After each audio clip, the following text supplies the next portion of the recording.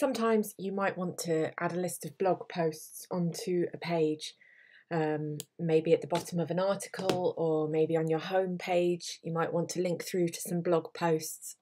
Um, and I'm going to show you how to do that now using one of the CoBlocks blocks, which is called posts.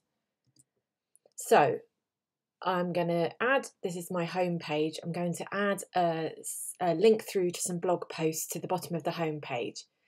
So the first thing I'm going to do is add a section block. And then within the section block, we have this CoBlocks block called posts. And essentially what this does is just draw through a list of posts and you can format them how you want. So if I just show you how that looks at the moment. Here we are on the home page and it's bringing to, through two blog posts displaying these are the featured images, the pub date, the title, which is a link, and the first little bit of text of each post. So if we go back to the settings for the block, you can see that you've got some control over what you display. So we've got them stacked at the moment. We could also display horizontal.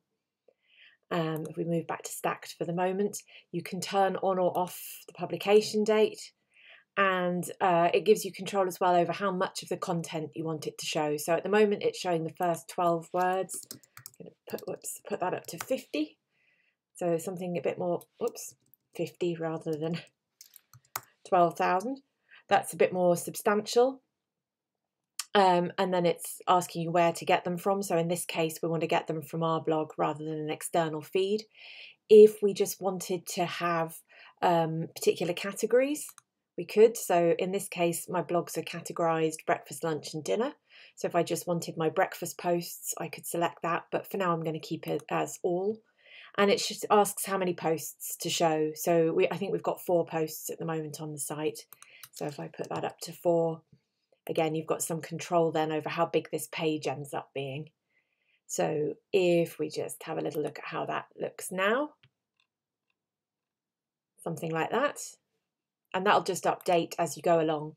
So as um, at the moment it's newest to oldest, so if you added a new post, that would come in here in the top left and all the others would just move down essentially. Um, within this style here we've got stacked but as I said you can move to horizontal and over here in the settings for the block you can change whether the images are on the left or the right. So if we move the images to the left and preview then you can see how that looks and you could give this a heading say you know here are the latest articles from our blog whatever you wanted. And so that is the posts block.